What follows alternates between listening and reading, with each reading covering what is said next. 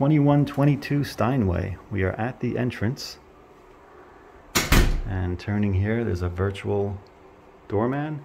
We'll head into the living area first. There's plenty of light in this unit, east-west exposure.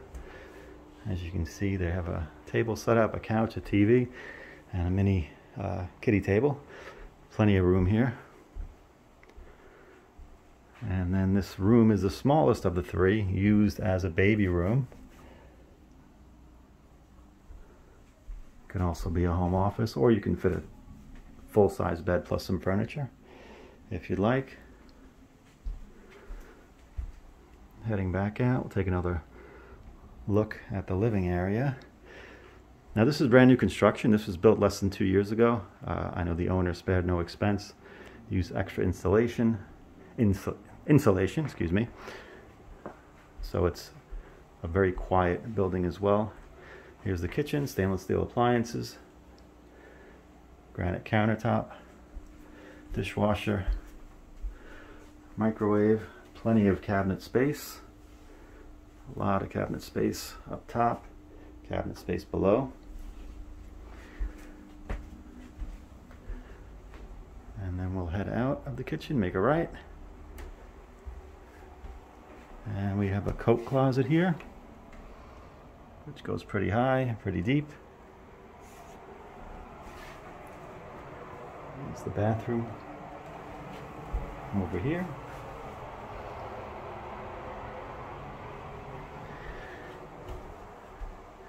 This is the utility closet, which you can use as put some extra brooms in there, such. And then we turn here, we have a double closet here. Which has some storage along with a washer dryer.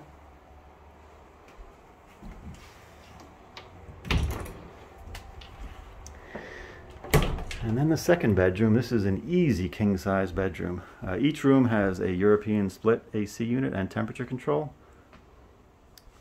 So keep that in mind as well. You'll never have to install any air conditioners. And you can temperature control each room. This is a king size bedroom with a very, very deep and high closet.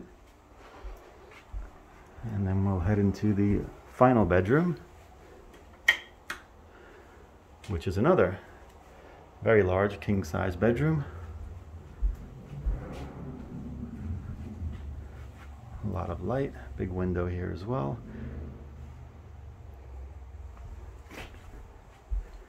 And a double closet. Plenty of space, plenty of storage. And then we'll head back out take a last look down toward the living area where the kitchen would be, the first bedroom, the closet, bathroom, utility closet, bedrooms, the closet with the washer dryer, and then the exit.